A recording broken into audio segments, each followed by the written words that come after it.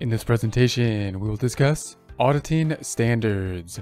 We're first going to take a look at the ASB, the Auditing Standards Board. They issue support accounting instruction by clicking the link below, giving you a free month membership to all of the content on our website, broken out by category, further broken out by course. Each course then organized in a logical, reasonable fashion, making it much more easy to find what you need than can be done on a YouTube page. We also include added resources such as Excel practice problems, PDF files, and more like QuickBooks backup files when applicable. So once again, click the link below for a free month membership to our website and all the content on it. The Statement on Auditing Standards, the SAS, so the ASB Auditing Standards Boards issues the Statements on Auditing Standards or the SAS. Then we have the PCAOB, the Public Company Accounting Oversight Board. They issue auditing standards or AS. Then we have the IAASB, the International Auditing and Assurance Standards Boards. They have the internal standards on auditing the ISA. So in other words, we have the ASB, the Auditing Standards Boards, the PCAOB, the Public Company Accounting Oversight Boards, and the IAASB, the International Auditing and Assurance Standards Boards, as the standards setters. The ASB is going to be for, as we recall from prior presentations, non-publicly traded companies. The PCAOB set up with Sarbanes-Oxley for, that's going to be a law that set it up, for publicly traded companies, and of course the IAASB, International Auditing and Assurance Standards Boards. How do they then set the standards?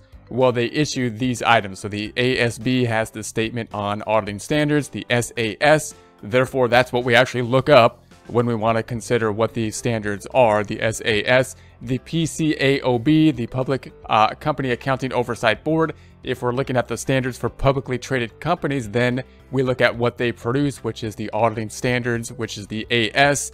And then if we're on international standards, the IAASB would be the regulatory entity, the International Auditing and Assurance Standards Board, setting the standards, those standards being what we'd actually look up, the International Standards on Auditing or the ISA.